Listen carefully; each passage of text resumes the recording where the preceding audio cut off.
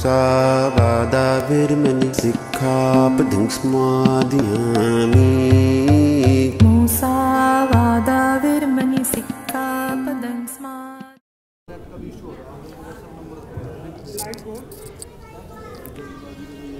बाबा साहब अमर रहे। सब शांत रहेंगे मैं सुनना। बट प्लीज़ कैसे अमर रहेंगे? अगर नारा लगाने से अमर हो जाते तो इतने नारे हमने लगाए हैं कि आप यकीन नहीं कर सकते दुनिया में सबसे ज़्यादा नारे हमारे हैं। आज आपके बगल में पानीपत में भी ऐसे ही नारे हैं, दिल्ली में बीसों जगह हैं, लखनऊ में तो कंपटीशन हो रहा है, पंजाब में तो कंपटीशन है क्योंकि वहाँ चुनाव है। और नारे लगाने वालों की जो संख्या है उनतीस लाख तो संगठन है। छियासठ तो आपके यहाँ आज हैं जो बोर्ड पर हैं पीछे।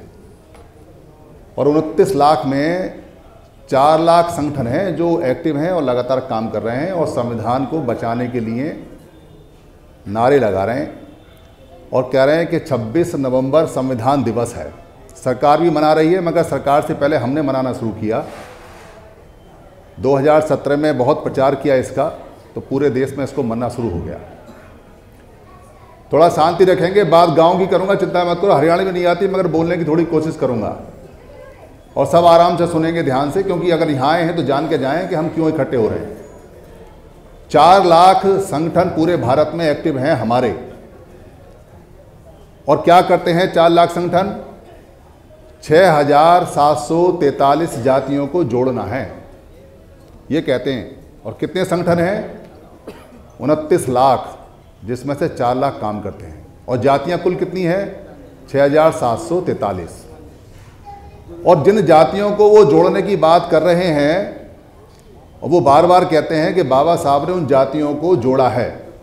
बाबा साहब ने तो काम सारा किया है। तो उन्होंने छः हज़ार सात सौ तैतालीस जातियों को तीन जगह इकट्ठा कर दिया और उनका नाम दे दिया, नया नाम एस सी एस टी और ओ बी सी मगर जिन्होंने जातियों से फ़ायदे उठाने हैं उन्होंने कहा कि हम बाबा साहब का काम नहीं बनने देंगे। अगर बाबा साहब का काम अगर ऐसा इतने आसानी से हो गया तो फिर हमारा फ़ायदा क्या है? और उन्होंने बाबा साहब के काम को ख़त्म करके 6,743 जातियों की पोटली खोल दी। और गर्व से कह रहे हैं कि हमारा ये जाति और हमारी वो जाति हम इस जाति के नेता हम उस जाति के नेता हम इस जाति के प्रधान ये हमारी जाति का पंचायत घर ये हमारी जाति का भवन और इसमें कन्याकुमारी से लेके और पूरा का पूरा श्रीनगर तक सारे के सारे जातियों का खेल दोबारा से खेल रहे हैं और बाबा साहब की सारी मेहनत बेकार कर दी जो उन्होंने छः हज़ार सात सौ तैंतालीस जातियाँ इकट्ठी की थी। ये इंटरव्यू बाद में ले लेना भाई। ये बाद में ले लेना इंटरव्यू बंद कर दे भाई इसको। अभी इंटरव्यू मत लो क्योंकि कुछ सुन लो इंटरव्यू से ज़्यादा इंपॉर्टेंट है बल्कि आप ध्यान से सुनो आपको प्रश्न उत्तर लेना आप। तो छः हज़ार सात सौ तैंतालीस जातियों को खोलने के लिए कितने संगठन हैं? चार लाख। और सारे संगठन क्या कर रहे हैं? तेरह संगठन छोटा, तेरह संगठन बड़ा। तेरे संगठन का ये आदमी खराब तेरे संगठन का ये आदमी अच्छा। तेरे संगठन वाले ऐसे तेरे संगठन वाले ऐसे। तू मेरे संगठन को पैसे दे, तू उसके संगठन को पैसे मत दे। और तेरे संगठन के प्रधान को तो हम देखेंगे और हमारे संगठन को प्रधान को वो देखेगा। और लड़ किससे रहे हैं? अपने अपने संगठनों में लड़ रहे हैं और संगठन वालों से लड़ रहे हैं। और जातियाँ क्या करती हैं? तेरी जाति छोटी, तेरी जाति बड़ी। तेरी जाति में ऐसा, तेरी जाति में ऐसा। तो जैसे जातियाँ काम करती हैं, वैसे ही सारे संगठन काम कर रहे हैं। और जिससे लड़ना चाहिए, उससे नहीं लड़ रहे हैं। सब आपस में लड़ रहे हैं, वहाँ तक तो पहुँचे नहीं, जिनके लिए बनाया है। तो संगठन बनाए क्यों? क्योंकि बाबा साहब ने कहा, संगठित रहो। बाबा साहब ने कब कहा कि संगठन बनाओ? एक सेंटेंस दिखा दो बाबा साहब का, जब बाबा साहब ने यह कहा हो कि संगठन बनाओ। बाबा साहब ने कहा है, संगठित होना है। और हमारे लोगों ने क्या कहा? संगठन बनाना है। चलो, संगठन बना लिए चार लाख, कोई बात नहीं तो संगठित तो हो जाओ।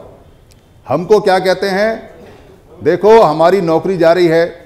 हमारा व्यापार जा रहा है, हमारा रोज़गार जा रहा है, जो बाबा साहब हमारे लिए लेके आए थे, वो सब हमारा चला गया, हमारा संविधान खतरे में है, अब हम दोबारा से मरे का मांस खाना पड़ेगा, दोबारा से हमारी हालत ख़राब हो जाएगी, हमको डराते हैं और फिर कहते हैं, पैसा दे दो, पर्ची काटो, पैसा दे दो, और हमसे पैसा लेके और अलग संगठन बनाते हैं, और हमको कहते हैं, तुमको संगठित रहना है। अरे भाई, हमको संगठित रहना कहते हो तुमको ये बात समझ में नहीं आती कि तुमको भी संगठित रहना है? चार लाख संगठन जो हैं, लगातार काम कर रहे हैं और उनतीस लाख जो संगठन हैं, वो हमको सिखाते हैं कि संगठित रहना है। तुमको नहीं सिखाया बाबा साहब ने कि संगठित रहना है? तुमको समझ में नहीं आया कि संगठित रहने का फ़ायदा होता है? हमको ही कहने के लिए हो। क्योंकि ये जो बीमारी है, ये बीमारी क्यों आई है, इसका अगर पता करेंगे तो आपको पता चलेगा। बीमारी कैसे काम करती है? कि ये जो आपके हाथ में संविधान का प्रियम्बल है, इसको समझो कि संविधान क्या है? संविधान में जो शब्द होता है, एक होता है धा। धा का मतलब है धारण करना। और अगर वी लगा दें तो उसका मतलब है विशेष रूप से धारण करना। यानी कि कुछ बात हुई है, कुछ नियम तय हुए हैं, उनको धारण करना है, और जो आदमियों ने बनाए हैं, उनको विशेष धारण करने के लिए बताया है।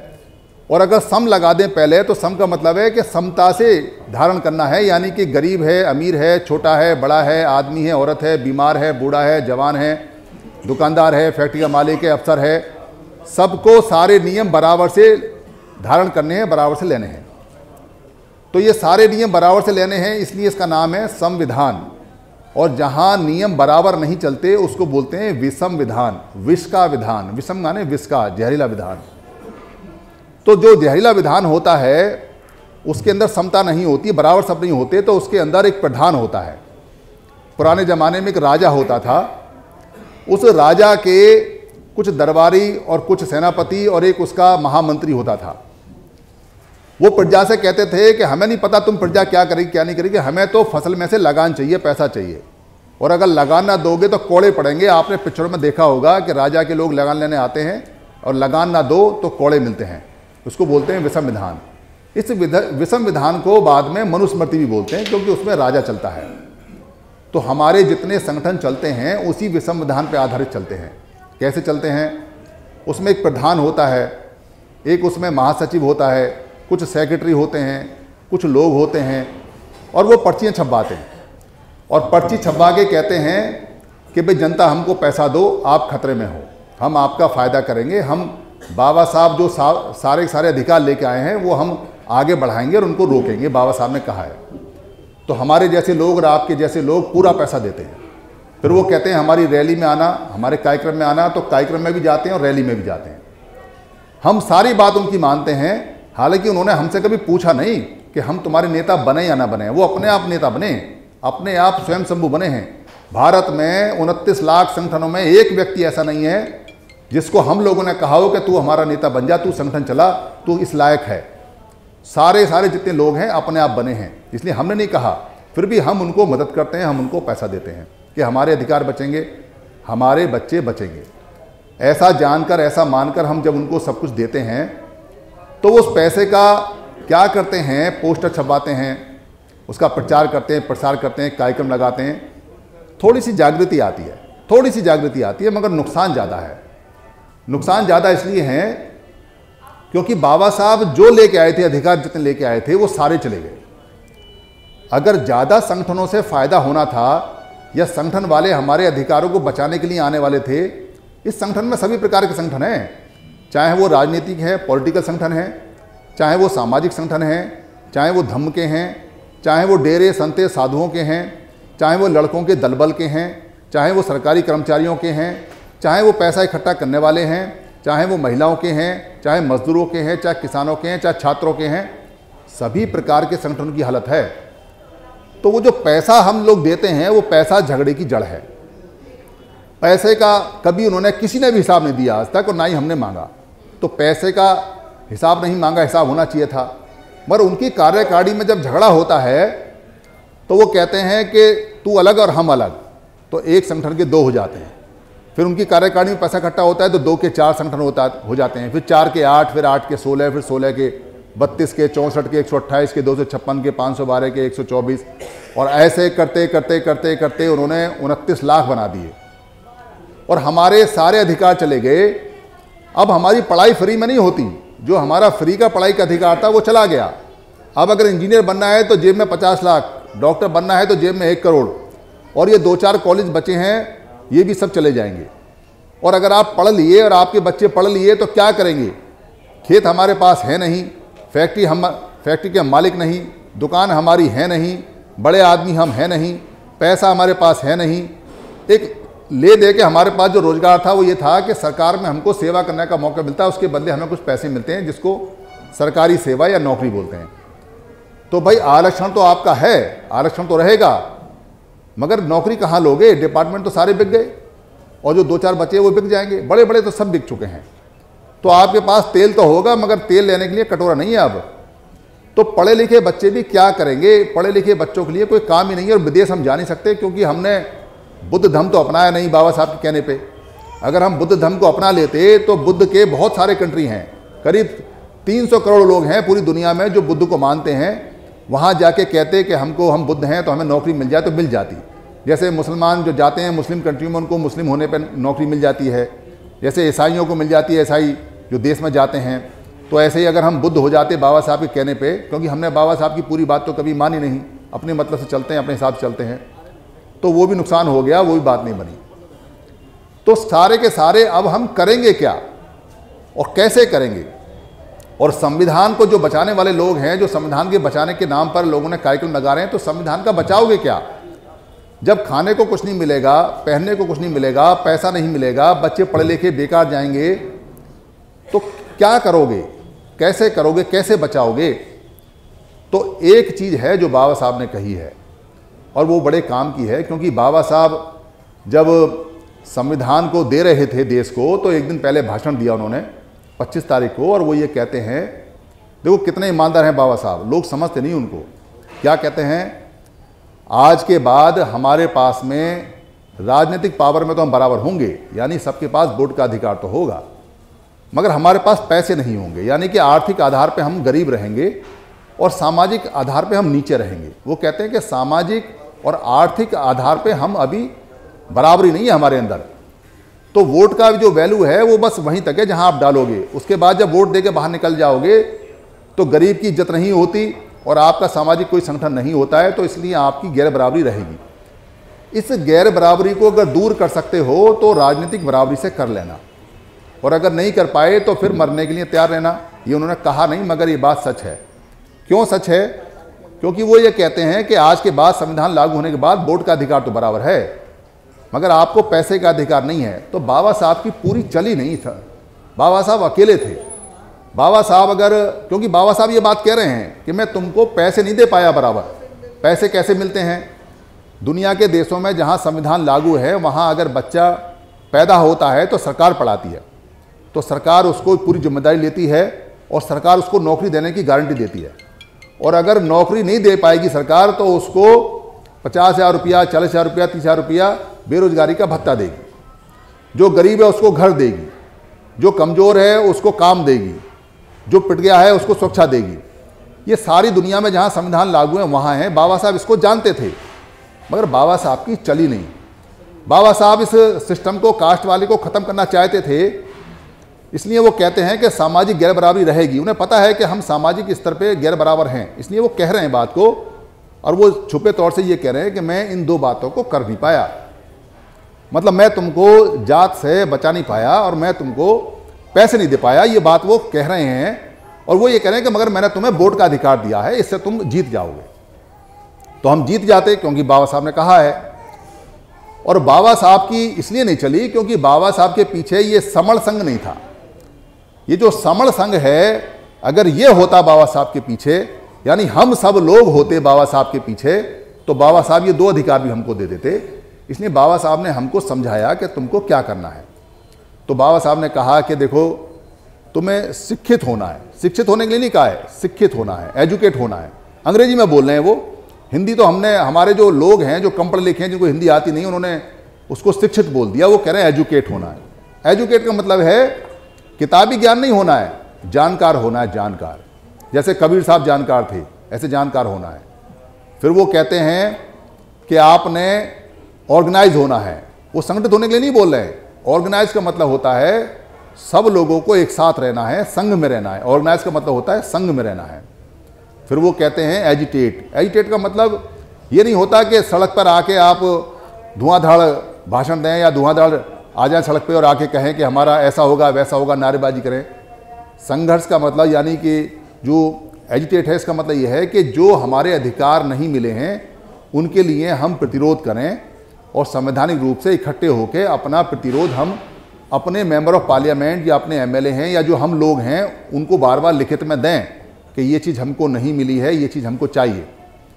ये जो तरीका हमको सिखाया है हमारे लोगों ने, वो जान नहीं पाए कि बाबा साहब क्या कहते हैं। तो संगठित होने के नाम पर तो उन्होंने उनतीस लाख संगठन बना दिए।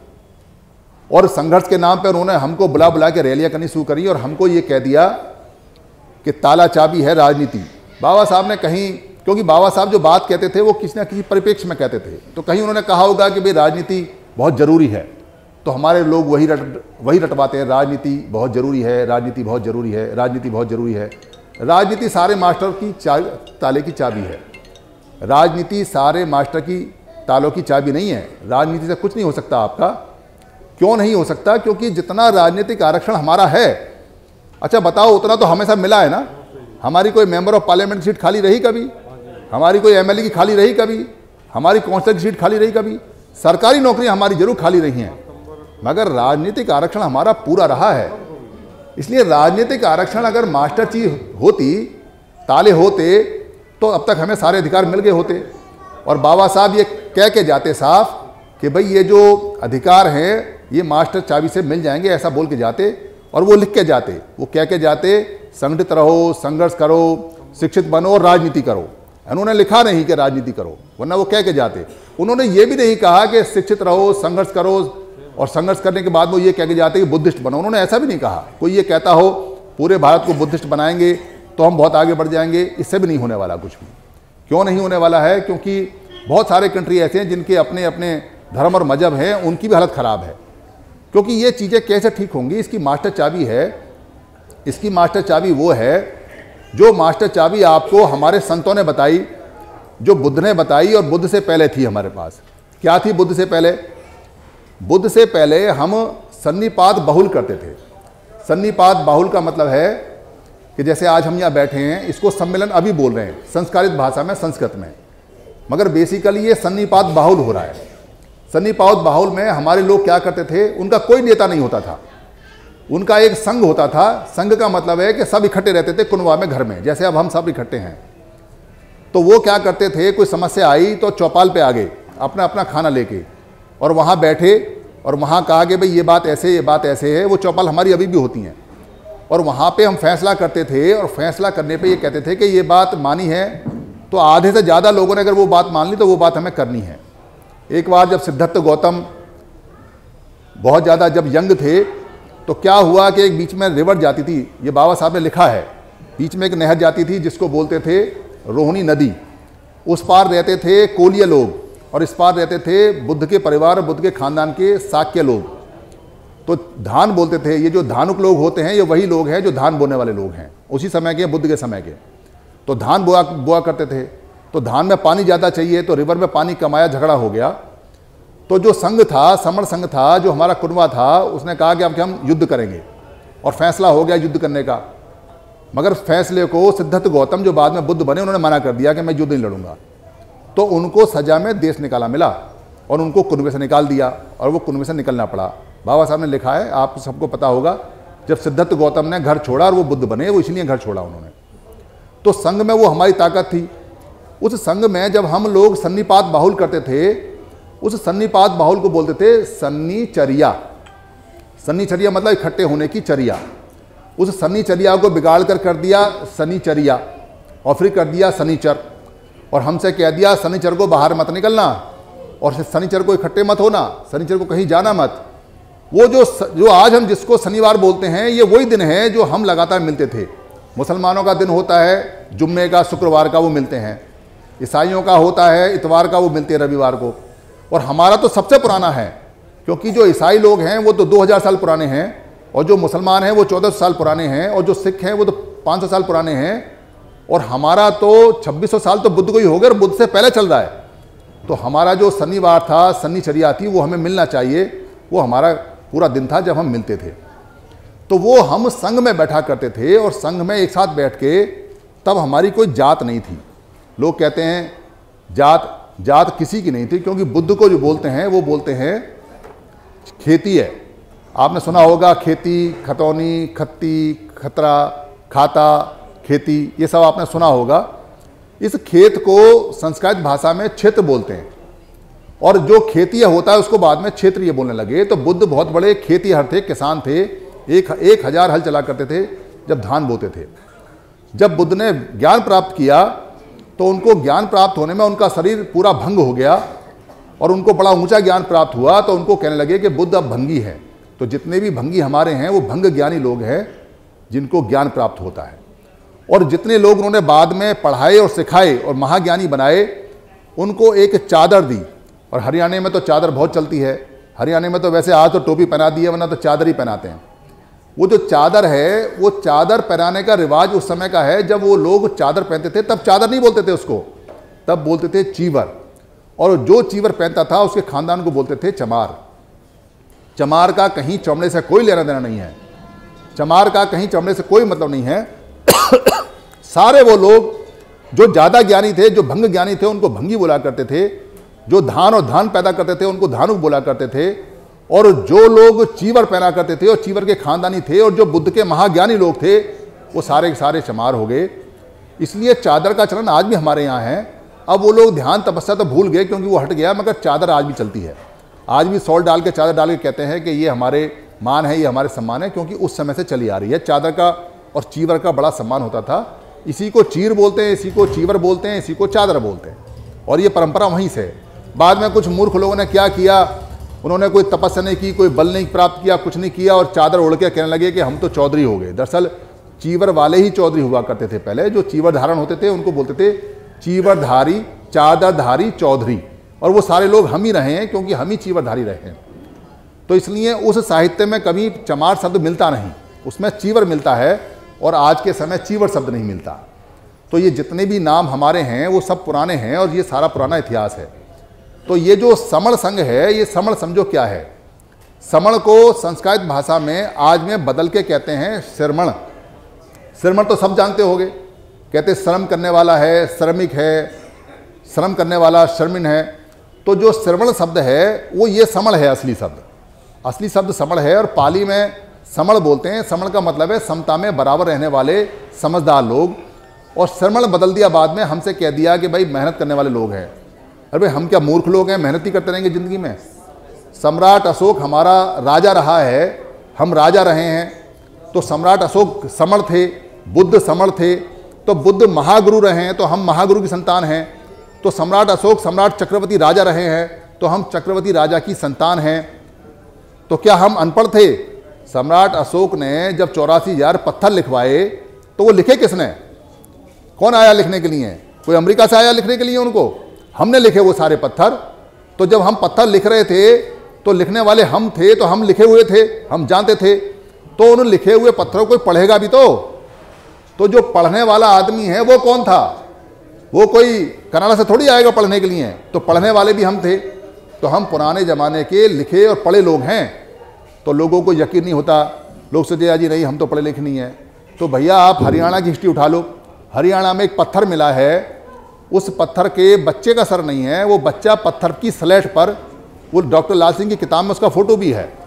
उस स्लेट पर बारह खेड़ी जो है, बारह खड़ी को पढ़ रहा है और बारह खड़ी है क्योंकि सम्राट अशोक ने सबसे पहले अक्षर बनाए। उससे पहले अक्षर नहीं थे तो हमने अक्षर बनाए। तो अक्षर बनाने वाले हम, पढ़ने वाले हम, लिखने वाले हम तो जो जो सेनाएँ बनी, चंद्रगुप्त मौर्य ने जो सेना बनाई, वो भी समर था। उस सेना में जो सेनापति और जो सेना के सिपाही थे, वो कौन? वो भी हम थे। तो सेना हम थे। तो जो हम पैदा करते थे, चाहे रथ बनाते थे, चाहे हम घोड़ों की नाल बनाते थे, चाहे हम भैंसा बुग्गी बनाते थे, या जितने भी हम बर्तन बनाते थे, या कपड़ा बनाते थे, उस बनाने वाले कौन इंडस्ट्री के? वो भी हम थे। जब बनाने वाले हम थे तो बेचने वाले कौन? तो बेचने वाले भी हम थे। क्योंकि जो सुदत्त है, सुदत्त हमारा सबसे अमीर वो था व्यापारी। उसको जीवक नाम से बुला करते हैं। जो सुदत्त है, उसको बोलते हैं अनाथ पिंडक। तो अनाथ पिंडक सबसे बड़ा व्यापारी, सबसे अरबपति क्यों था? अनाथ पिंडक एक बार बुद्ध के पास गया और उसने कहा कि आप सावित्री में आके अपना आराम बनाओ और मैं आपको एक आराम वहाँ दूँगा, दान करूँगा भिक्खु संघ को। तो उन्होंने कहा, ठीक है, जब आप आराम ले लोगे तो हम आ जाएँगे। आराम बोलते हैं बगीचे को, जहाँ भिक्खु लोग रमन करते थे, जहाँ भिक्खु लोग पूरा का पूरा रमणीय स्थल होता था, जहाँ औरतें रमती थीं।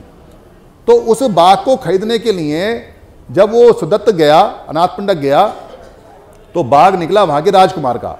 तो राजकुमार ने कहा, भाई हम नहीं बेचते। तो उसने कहा, जी, बेच दो, आप कीमत बताओ। तो उसने कहा, ये क्या कीमत देगा?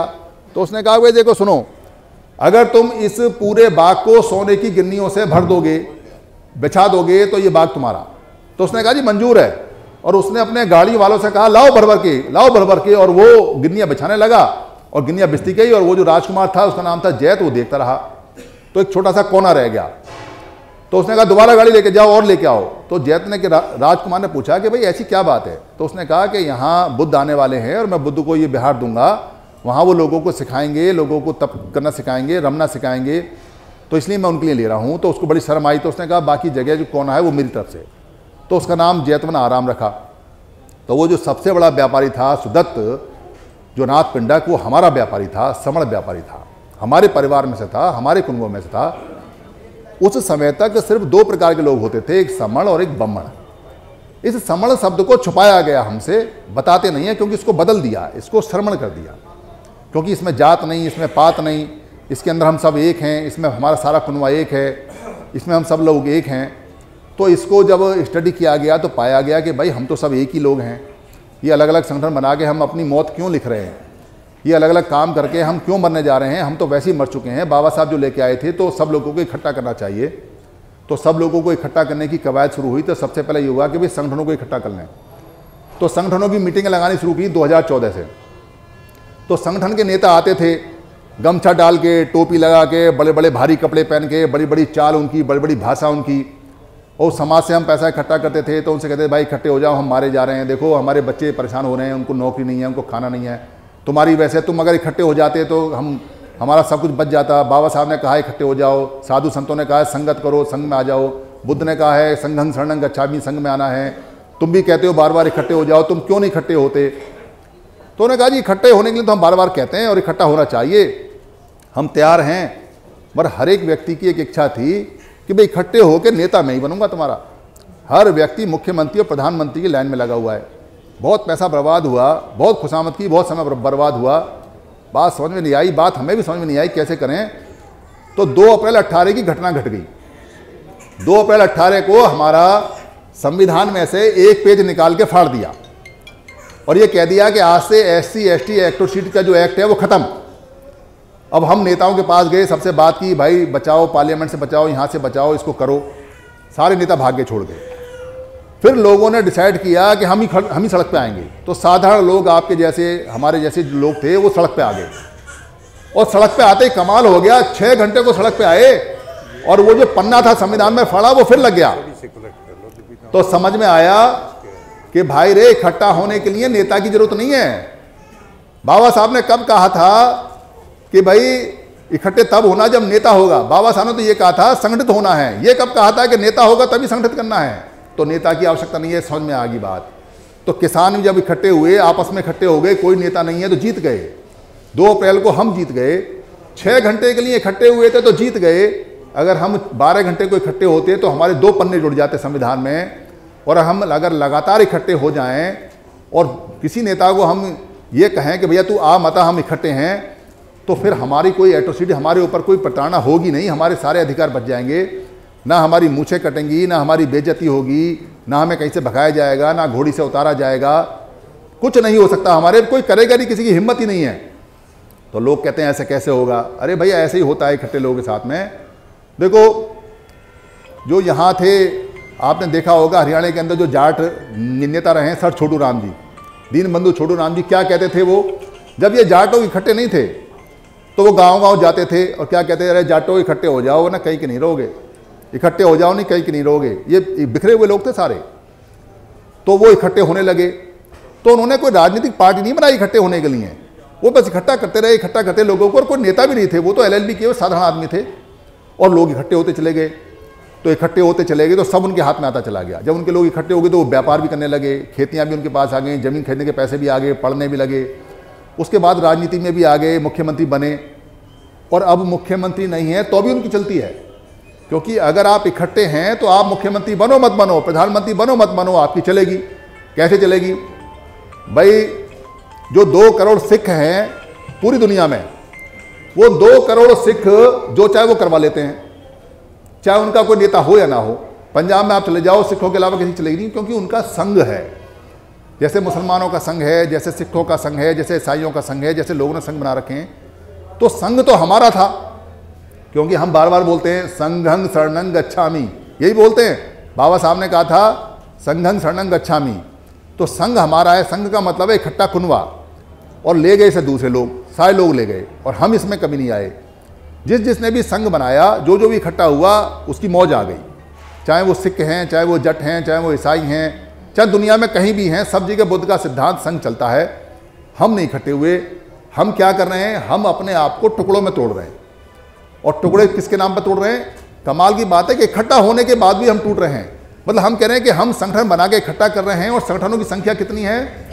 चार करोड़, चार लाख संगठन एक्टिव हैं और उनतीस लाख हमारे हैं और जात हमारी छः हज़ार सात सौ तैंतालीस हैं। तो अगर हम सारे मिलकर एक संघ बना लेते और संघ में आ जाते तो हमारे दलिद्र अब तक दूर हो जाते सारे के सारे।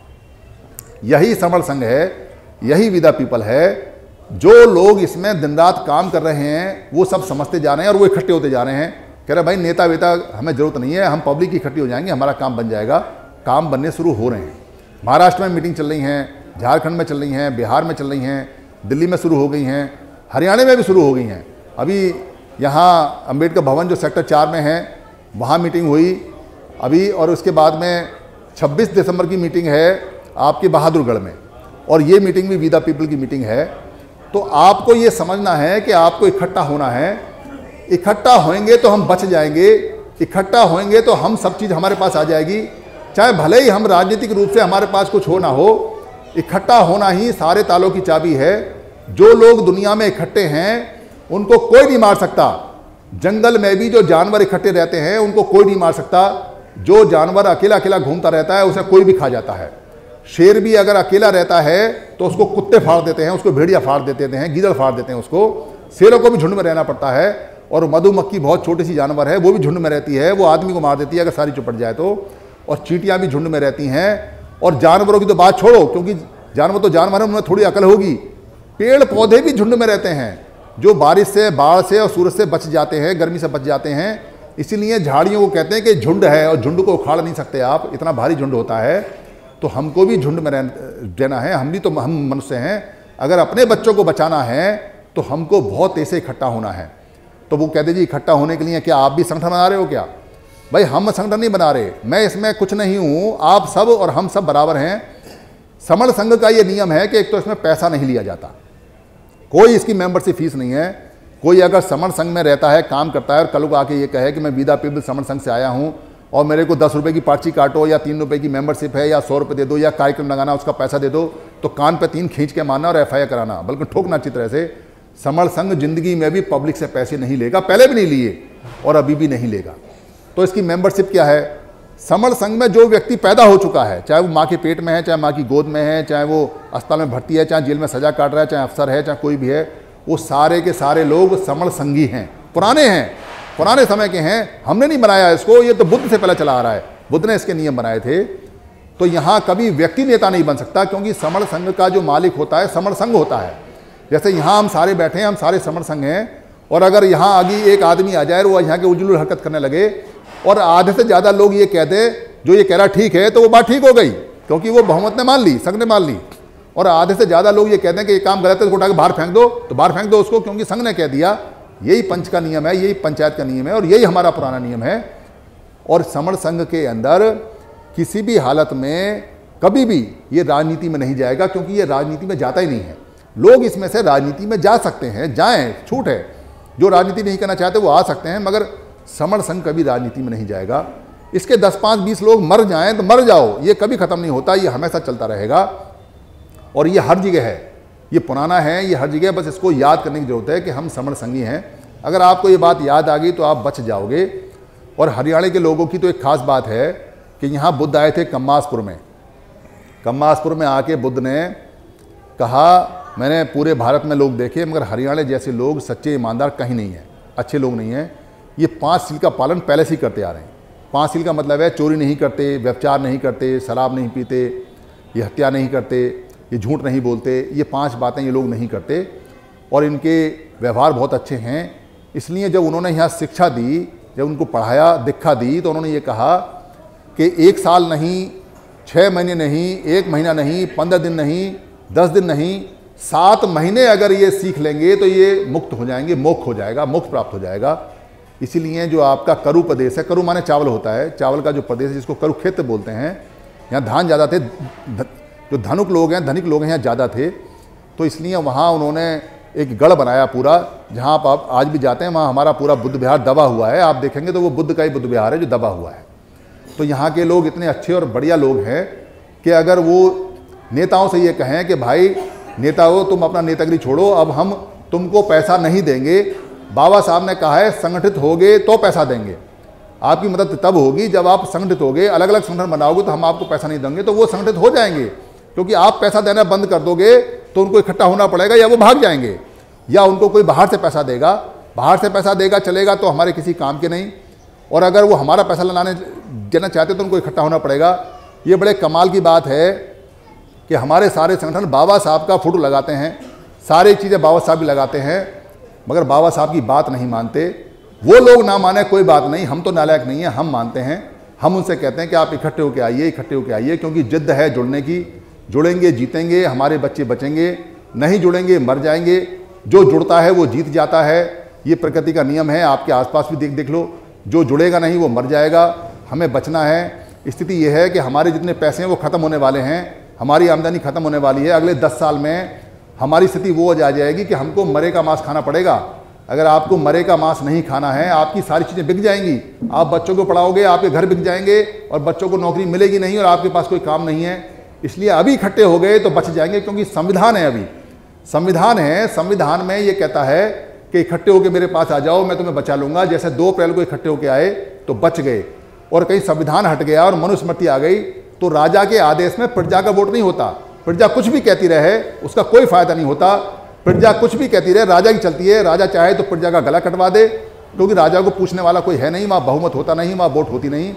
इसलिए आज संविधान दिवस पे आप सभी लोग ये प्रण करें कि अब हम एक साथ इकट्ठे आना है। सब लोगों को निवेदन करें कि इकट्ठे आना है और सब लोगों को निवेदन करें कि भाई पैसे जब देंगे, जब आप सब इकट्ठे होकर हो जाओगे, वरना आप जो चाहे वो करते रहो। हम तो वैसे ही मर रहे हैं, कम से कम पैसे नहीं देंगे, हमारा पैसा तो बचेगा। धन्यवाद।